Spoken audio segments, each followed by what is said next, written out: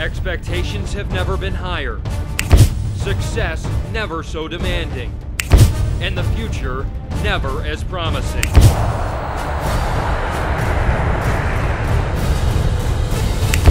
The time is now.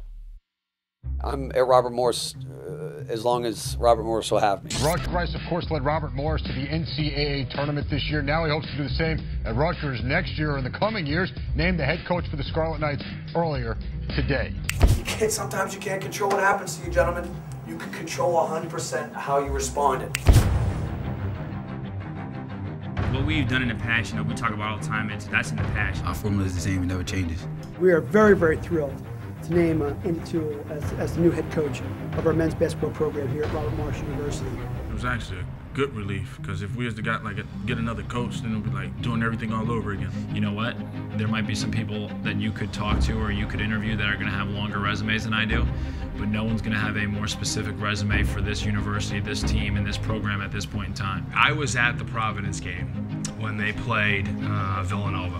Seeing those kids compete the way they did, uh, you could not tell me that they were underdogs. The way we felt after losing that game against Villanova, we still have that that that in our heart where we like, oh man, we need to get back there. We have to get back there because we have a we have a point to prove to the world. Like, we're trying to prove everybody wrong again, just like how we did last year. We've had a really difficult time scheduling. I mean, we've had a terrible time of trying to convince teams to come to Pittsburgh. A number of times I've heard you guys play too hard, you play defense too well, we don't want to play you. You know, it has been in the hundreds.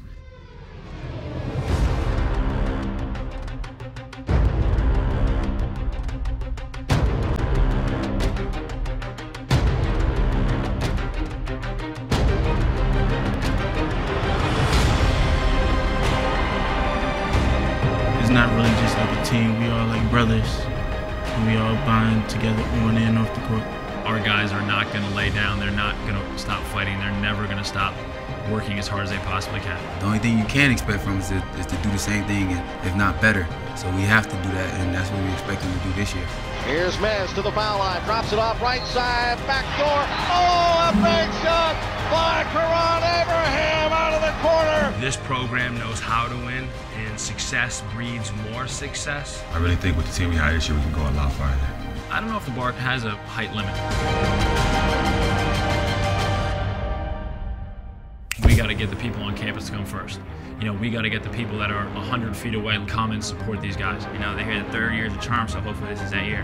Just sit back and watch. Be surprised. Be prepared to give every single thing you have in your body and your team and your program to beat us.